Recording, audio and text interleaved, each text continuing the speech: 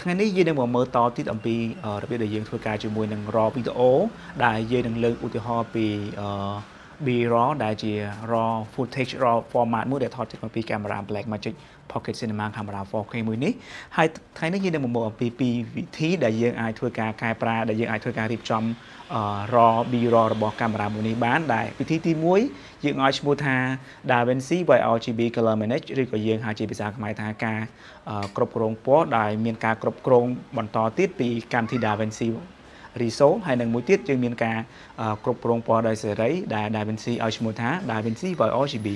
ឥឡូវនេះយើងកំពុងនៅក្នុងទំព័រកែប្រែពណ៌របស់យើងជំហានបន្ទាប់យើងចូលទៅ project setting ដើម្បីរៀបចំការកែប្រែពណ៌បន្តមកទៀតយើងចូលទៅ color management ដែលជាទីតាំងធ្វើការគ្រប់គ្រងពណ៌ហើយនៅក្នុង color cyan យើងរើសយក DaVinci by RGB color manage ដោះ tick ត្រង់កន្លែង automatic color management នេះបន្ទាប់ពីដោះសញ្ញាគ្រីសចេញហើយនៅត្រង់ color processing mode យើងរើសយក HDR DaVinci by Gamut intermediate ដែលជាដំណើរការនៃការទាញពណ៌ឲ្យបានធំបំផុតក្នុងកំឡុងពេលដែលយើងធ្វើការតែក៏យើងត្រូវប្រកាសថាអេក្រង់ដែលយើងកំពុងតែធ្វើការគឺអាច control នៅពន្លឺនិងពណ៌ប្រភេទ HDR នេះបានផងដែរហើយចុងក្រោយនោះយើងទុក output color space របស់យើងនៅ Rec 709 Gamma 2.4ដដែលបើសិនយើងដឹងថាយើងនឹងបញ្ចប់ការងារនេះសម្រាប់ចាក់លក់ឧបករណ៍អ្នកប្រើប្រាស់ទូទៅនៅក្នុង project setting ដដែលយើងចូលទៅ camera raw ដើម្បីរៀបចំរបៀបដែលកម្មវិធី DaVinci Resolve ពន្លាតដល់នៃ B raw របស់យើងដែលនៅក្នុង raw profile យើងរើសយក Blackmagic raw decode quality យើងរើសយក full resolution និង decode using យើងរើសយក camera metadata ដែលនៅត្រង់នេះគឺមានន័យថាយើងសម្រាប់យកពណ៌និងពន្លឺដែលកាមេរ៉ារបស់យបានថតចេញមកធ្វើការនៅក្នុងពេលកាត់តហើយយើងចុច save คลิปរបស់យើងនឹងមានពណ៌ពេញលេញស្អាតតែម្ដងជាពណ៌ដែលថតចេញពីកាមេរ៉ា Blackmagic Pocket Cinema Camera 4K របស់យើងដែលត្រូវបានកម្មវិធី DaVinci Resolve សម្រាប់យកពណ៌នេះឡើងមកដើម្បីឲ្យយើងធ្វើការកែប្រែពណ៌បន្តទៅទៀតត្រង់កន្លែងកាមេរ៉ា RAW នេះបើសិនជា ការងាររបស់យើងនឹងមានអឺ raw format ចេញពីកាមេរ៉ាផ្សេងផ្សេងគ្នាច្រើនដូចឧទាហរណ៍ដូចយើងមាន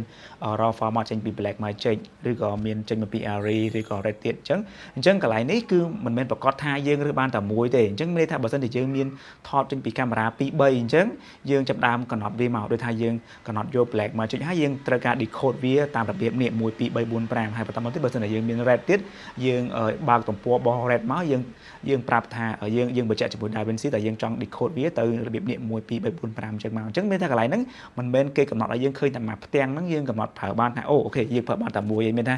យើងបើសិនតែយើងមាន clip ចេញពីកាមេរ៉ាច្រើន យើងទៅ select យក clip format របស់កាមេរ៉ាមួយមួយហ្នឹងមកពលានៅក្នុងអាកន្លែងកាមេរ៉ារហ្នឹងអូខេឥឡូវយើងចូលមកការងាររបស់យើងបន្តទៀតនៅត្រង់កាមេរ៉ារក្នុងចំណុច decode using បើយើងរកយក clip យើងអាចធ្វើការកែប្រែ color cyan white balance ISO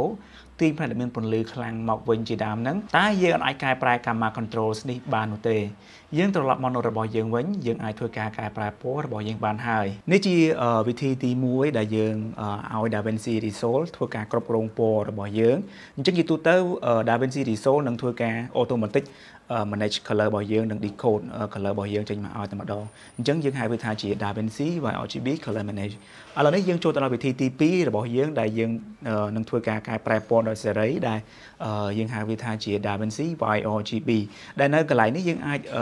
កែកន្លែង camera control បានហើយសូមបញ្ជាក់ផងដែរថានៅក្នុងកន្លែងនេះយើងនឹងទៅមើលបន្ថែមទៀតពីការដែលយើងប្រើ film lux ដើម្បីចាក់បន្ថែមទៅលើ clip របស់យើងយើងត្រឡប់មក project setting របស់យើងវិញដើម្បីកែប្រែការគ្រប់គ្រងការងាររបស់យើងដែលយើងនឹងទៅមើលតែចំណុចការគ្រប់គ្រងពណ៌នោះទេនោះគឺ color management ដែលនៅត្រង់ color cyan រឿងរើសយក DaVinci by RGB វិញម្ដង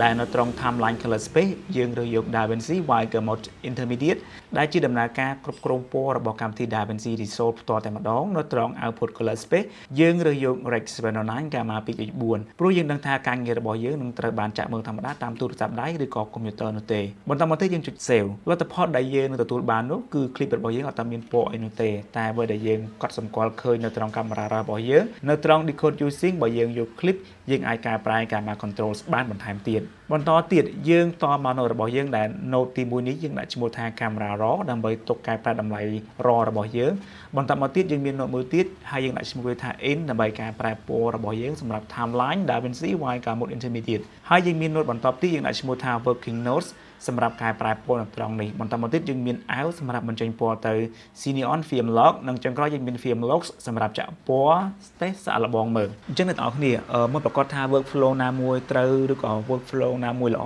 សម្រាប់យើងនោះទេវាស៊ីសងអាស្រ័យថាតើយើងកំពុងតែធ្វើការងាររបស់យើងនឹងកាត់តវីដេអូរបស់យើងនឹងទៅតាមសម្រាប់លទ្ធផលសម្រាប់ទៅលើអីគេឧទាហរណ៍ថាយើងកំពុងតែបើសិនជាយើងកាត់តវីដេអូរបស់យើងសម្រាប់ TVC គឺយើងមាន workflow មួយដែល adapt ជាមួយនឹងកាមេរ៉ា format raw format របស់យើងហ្នឹងហើយដើម្បីឲ្យងាយស្រួលក្នុងការធ្វើការងារជា team ហើយដើម្បីទទួលបានលទ្ធផលល្អបំផុតបើសិនជាយើងកាត់តសម្រាប់ចាក់ក្នុងរោងកុនយើងមាន workflow មួយទៀតសម្រាប់ចាក់ក្នុងរោងកុនតែបើសិនជាយើងគ្រាន់តែធ្វើការងារសម្រាប់ social media ធម្មតាទេយើងអាចប្រើត្រឹមតែ workflow របស់យើងហើយយើងមើលលទ្ធផលតើតើលទ្ធផលយើងហ្នឹងវាពេញចិត្តអ្វីដែលយើងចង់បានទេក៏អត់អាហ្នឹងគឺ OK ហើយអញ្ចឹងអត់ប្រកាសថា workflow មួយនេះល្អ workflow មួយនេះល្អទេអញ្ចឹងនេះគ្រាន់តែជាឧទាហរណ៍មួយដែលខ្ញុំបញ្ជាក់អំពី workflow វិធីសាស្ត្រទី2ដែលយើងធ្វើការជាមួយនឹង DaVinci YRGB ហើយយើងនឹងចាក់ film looks ថែមទៀត OK ឥឡូវយើងបន្តមកទៀតនៅក្នុង node in យើងរើសយក color space transform យើងដាក់ចូលមកហើយនៅក្នុង input color space យើងរើសយក Blackmagic Design file Gamma Gen 4 file នៅត្រង់ input gamma យើងរើសយក Blackmagic Design film Gen 5ចំណែកឯ output color space យើងរើសយក DaVinci Y Gamut និង output gamma យើងរើសយក DaVinci Intermediate បន្តមកទៀតនៅត្រង់ node out យើងទាញ color space transform មកដដែលមករួចនៅត្រង់ input color space យើងរើសយក DaVinci Y Gamut និងត្រង់ input gamma យើងរើសយក DaVinci Intermediate រួចនៅត្រង់ output color space យើងរើសយក Rec 709និងចុងក្រោយនៅត្រង់ output gamma ដូចយើងនិយាយពីខាងដើមអញ្ចឹងគឺយើងអត់តន់ដាក់ gamma 2.4ចូលទេយើងនៅចង់សាកចាក់ពណ៌បន្ថែមទៀតដូច្នេះយើងរើសយក Cineon Film Lock ដើម្បីទុកចន្លោះយើងអាចចាក់ film lock របស់យើងចូលបាននៅ node បន្ទាប់ node film locks របស់យើងយើងចូលទៅ last ហើយនៅត្រង់ folder film locks យើងរើសយក locks ណាដែលចាប់តាមដោយ Rec 709ហើយចាប់ទីនេះមកដាក់តែម្ដងមកអញ្ចឹងយើងបាន clip មួយដែលអាចធ្វើការបានចំនួន node in និង node out នេះហើយយើងក៏មាន node camera raw មុនគេដើម្បីកែតម្លៃ raw និងមាន node ចុងក្រោយសម្រាប់សម្រេចពណ៌របស់យើង អញ្ចឹងនេះគឺជាវិធីទី2ដែលយើងធ្វើការជាមួយនឹង DaVinci by RGB នៅក្នុងកម្មវិធី DaVinci Resolve អញ្ចឹងនេះគ្រាន់តែជាឧទាហរណ៍មួយនៃវិធីសាស្ត្រនៃ workflow ដែលយើងធ្វើការជាមួយនឹង B-RAW នៅក្នុងកម្មវិធី DaVinci Resolve អញ្ចឹងជំរើសមួយណាដែលយើងគិតថាល្អសម្រាប់យើងលទ្ធផលល្អសម្រាប់យើងហើយនឹងត្រូវ align ជាមួយនឹងការងាររបស់យើងយើងគួរតែយើងយើងអាចយកវាទៅប្រើប្រាស់បានអូខេអញ្ចឹងយើងនឹង